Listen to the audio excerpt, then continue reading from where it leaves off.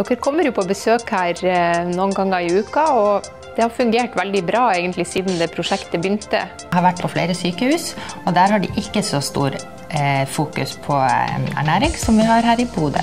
Det som jeg tenker er bra med det, er jo at vi får hjelp til de sykeste pasientene på sykehuset, og det har økt vårt fokus på ernæring til denne pasientgruppa.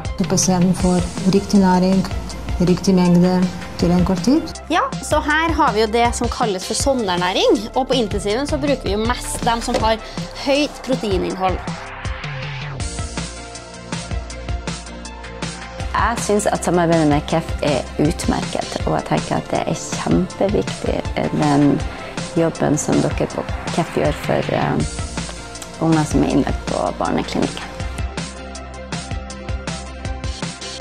Eh, vi forsøker jo att få en bra kommunikation med, med avdelingene.